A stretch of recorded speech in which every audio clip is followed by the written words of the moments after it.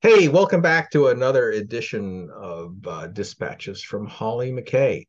Today we have, we're going to look at an interesting fellow, um, the latest leader of Al Qaeda, one Saif al Adel, who seems to have found a friend in Iran.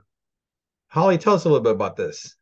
Right. So it's still a little bit of a debate as to who the new leader of Al Qaeda is. Of course, it was Osama bin Laden for many years, and then his deputy Ayman Zawahiri took over, and he was killed by a US uh, drone uh, in Kabul last year. And so it's been a little bit of a mystery since then. But so far, intelligence, uh, both from the US and also from the United Nations and some other countries, have pointed to a man by the name of Saif al Adel. Uh, he's actually actually Egyptian, um, and so he is assumed to be the new leader of of Al Qaeda. But um, contrary to uh, first thought, he's not hiding in Afghanistan or Yemen or Pakistan. He's actually in Iran. Um, supposedly, of course, Iran denies this, but they've also been denying their connections to Al Qaeda for a really long time. But it just shows you the strength of this quite strange relationship. And the two the two groups, uh, so to speak, the religious regime in Iran and also Al Qaeda, are strange bedfellows because obviously Iran sees itself as the leader of the Shia world, uh, which is very much at odds with Al Qaeda, which is very vehemently Sunni.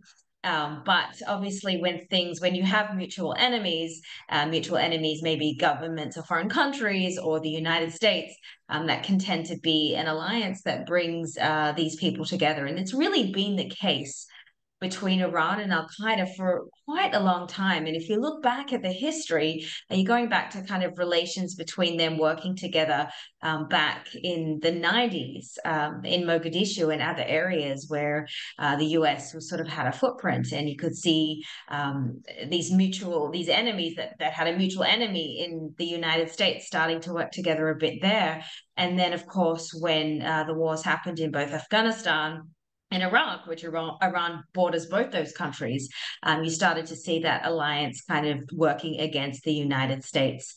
Uh, for really since then, it's it's been a, a big surge, and you've seen a lot of the leaders over the years, um, including Osama bin Laden's son at one point, go to Iran, and there is believed to be quite an Al Qaeda contingency um, laying low in Iran at the moment.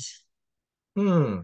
Well, that's kind of interesting. I mean, you know, if you look at the pattern of the Iranians the, particularly the last few years, and, and particularly since the fall of Afghanistan, um, you're you do see, you know, the Iranians are they're they seem to be exploring different ways to increase their influence, and uh, and so this uh, development in terms of getting cozier with a you know essentially a very religious foe uh in from a traditional standpoint it, for convenience purposes seems to be yeah an interesting development. But then, then again you also see the Iran you know the Iranians just uh, are have reestablished relationships with Saudi Arabia.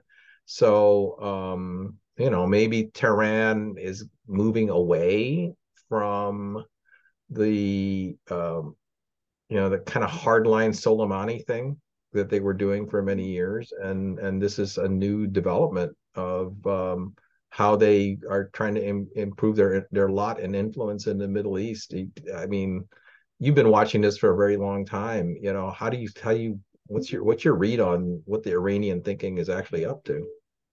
I, I do think it's wishful thinking to think that Iran would be moving anywhere from its hardline um, stance. I do think Iran's ultimate goal is to have that hegemony in the Middle East, and that means hegemony not only within its country, but obviously very strong influence outside its borders. But that also means having influence with terrorist groups, um, and of course, a group like Al Qaeda.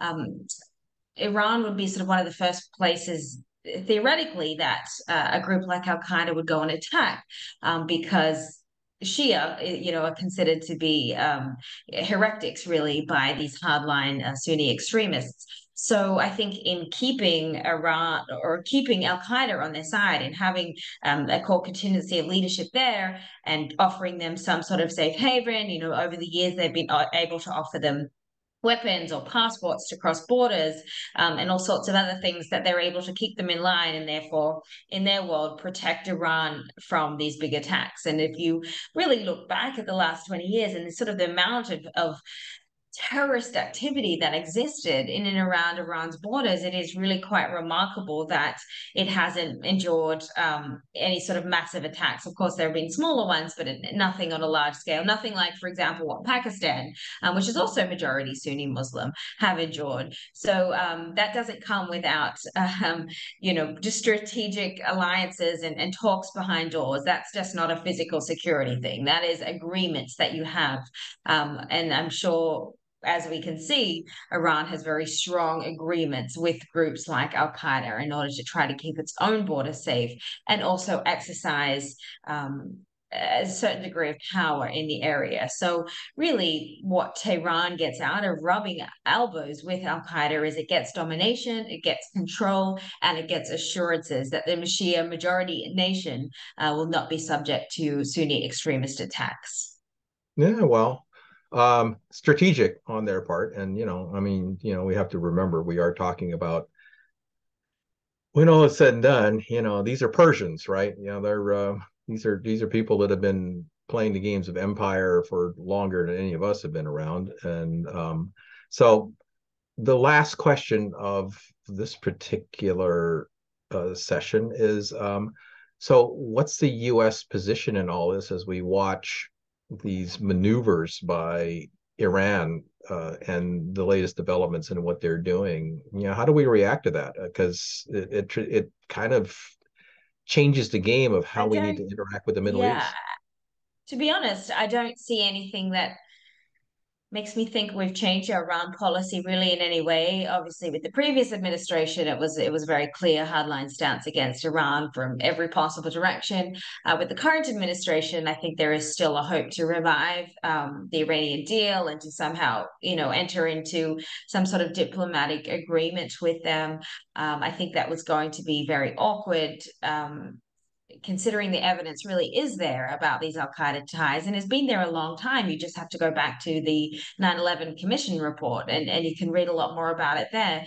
But I think it's, uh, I don't really see any clear or change in policy. And I think it's going to be a really challenging one uh, for policymakers to try to um, maneuver simply because people are so determined to revive that deal um, that this would be something that I think would very much jeopardize that. And I think also what's really interesting and, and quite disconcerting is the US has far less capacity to keep tabs on Al Qaeda's movements um, in Iran. So we don't have you know, diplomatic relationships, we don't have embassies, we don't have um, you know, huge amounts of, of intelligence personnel or anything like that um, compared to uh, Afghanistan and, and Pakistan, which is previously where uh, the majority of Al Qaeda operatives uh, resided. So we don't have the eyes or the ears um, to kind of keep tabs on their movements in Iran. So that certainly poses another big challenge for the US intelligence community. Hmm, well, that description basically says that Al Qaeda seems to have found its next perfect sanctuary, doesn't it?